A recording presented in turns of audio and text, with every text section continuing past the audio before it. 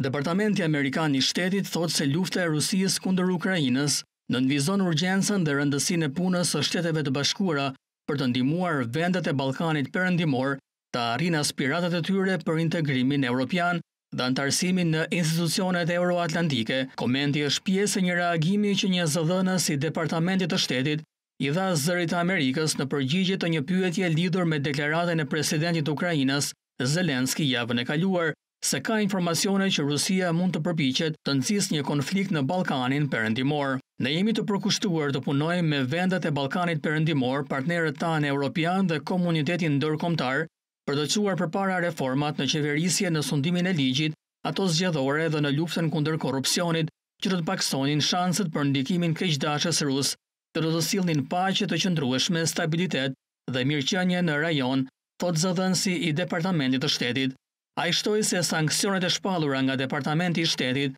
dhe i Thesarit javën e kaluar kishin për qëllim pikërisht këtë problem, kryqëzimin mes ndikimit keqdashës rus dhe korrupsionit. Zëdhënësi referohet shpalljes nga qeveria amerikane të disa politikanëve ballkanas si persona të padëshiruar dhe vendosjes së sanksioneve ndaj dymbëdhjetë entiteteve në Bosnjë-Hercegovinë, Mal të Zi dhe Maqedoninë e Veriut, aktiviteti i të cilëve lidhet me ndikimin keqdashës rus në rajon dhe korrupsionin. Të dyja pengojnë përpjekjet e rajonit për të përparuar drejt anëtarësimit në BE dhe një të ardhmeje më të begatë për vendet e Ballkanit Perëndimor, ashtu si dhe për të gjitha vendet në Europë është i rëndësishëm rezultati i luftës së Rusisë kundër Ukrainës, e cila kërcënon themelet e rendit dhe sigurisë ndërkombëtare. Kjo është arsyeja pse është kritike që ne të vazhdojmë të qëndrojmë së bashku përballë agresionit të Rusisë, tha ai.